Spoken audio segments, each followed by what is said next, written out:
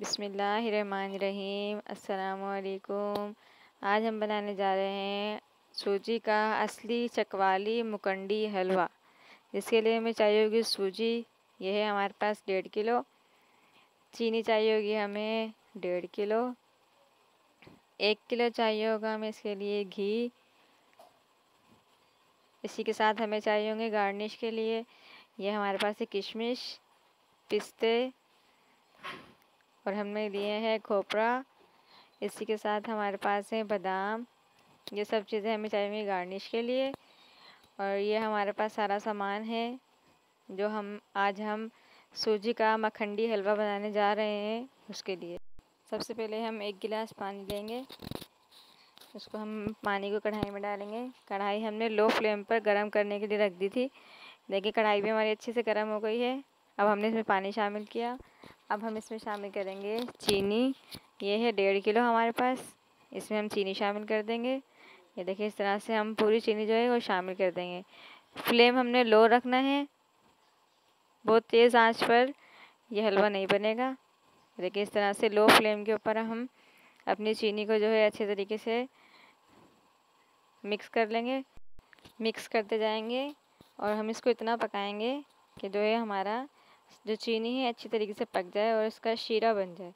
ये देखिए इस तरह से हम हल्के हल्के हाथ से जो है चम्मच चलाते जाएँगे और इसको पकाते जाएँगे।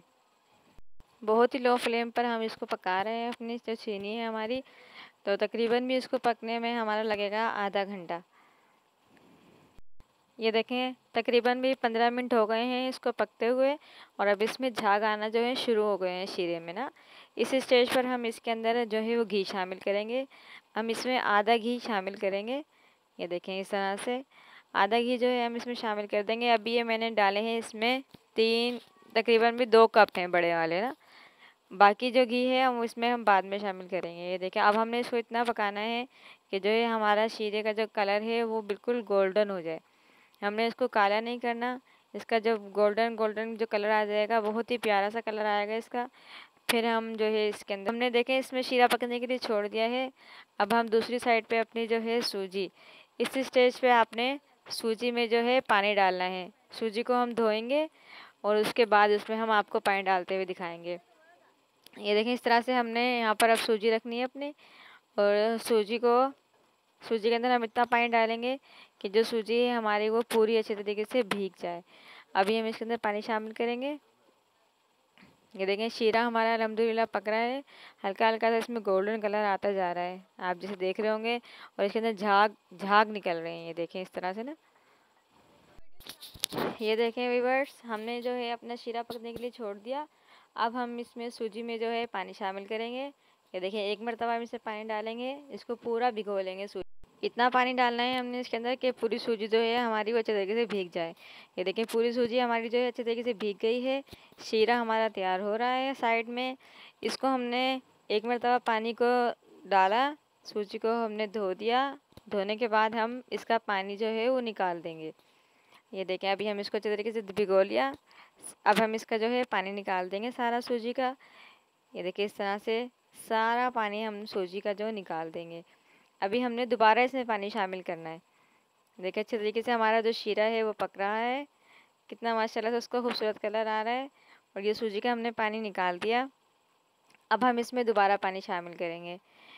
ये देखें, इस तरह से हमने दोबारा पानी शामिल किया। इतना पानी डालना है कि हमारी जो सूजी है, वो अच्छे तरीके से भीग जाए। और अब इसके अंदर पानी सिर्फ़ इतनी ही देर रहेगा जब तक कि ये हमारा शीरा तैयार होता है। इसको देखिए हम अच्छे तरीके से भिगो देंगे। ताकि कोई हमारी सूजी जो है, सूखी ना रह जाए। ये देखें वीवर्स अलहमदिल्ला से जो है, हमारी शीरा जो है वो पक रहा है। कंप्लीट हो गया है तकरीबन भी।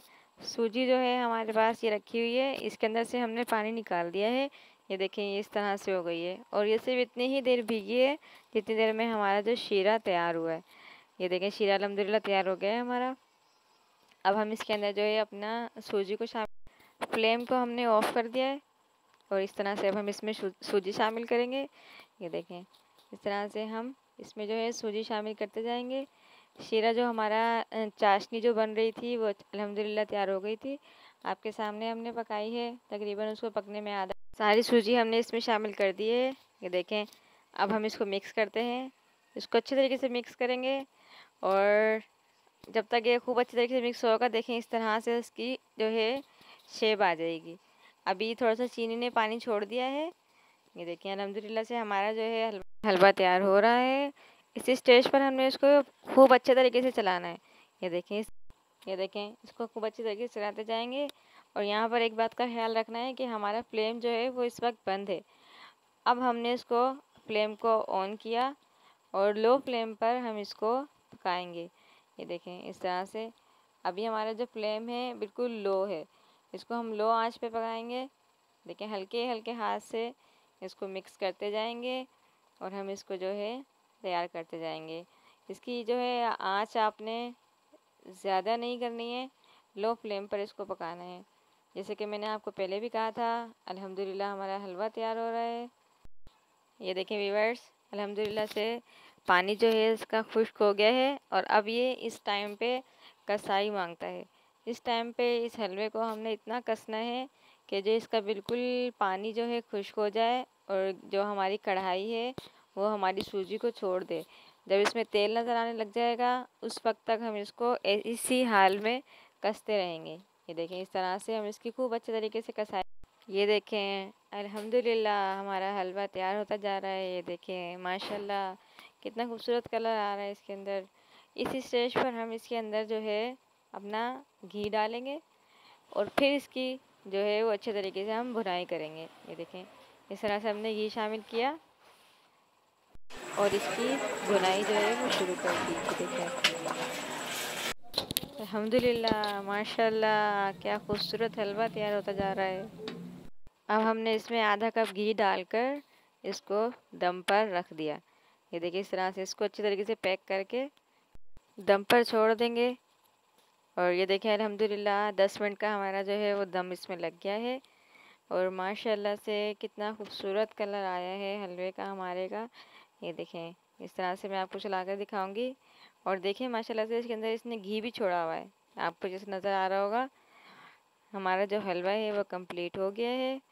ये देखें अल्हम्दुलिल्लाह से किस कदर खूबसूरत इसका कलर आ रहा है। और खुशबू तो इतनी प्यारी आ रही है कि इस वक्त मैं आपको बता नहीं सकती। बहुत ही मज़ेदार खुशबू आ रही है। अल्हम्दुलिल्लाह, कितना खूबसूरत इसका कलर आ रहा है। ये देखिए, बिल्कुल गोल्डन गोल्डन कलर है। और आप अपने घर में लाजमी ट्राई कीजिएगा इस हलवे को। हो सकता है ऐसा हलवा आपने पहले कभी ना खाया हो। आज ही इसको गार्निश करते हैं। ये हमने इसमें शामिल कर दी है किशमिश। अब हम डालने लगे इसके अंदर खोपरा। ये देखिए, इस तरह से इसमें हम शामिल कर देंगे खोपरा। और हम इसके अंदर शामिल करेंगे बादाम और पिस्ते, जिनको हमने मोटा मोटा सा कूट कर रख लिया था। ये देखिए, बादाम है और जो है पिस्ते। ये भी डाल देंगे हम इसके अंदर। और इसके अंदर हम शामिल करने लगे हैं इलायची।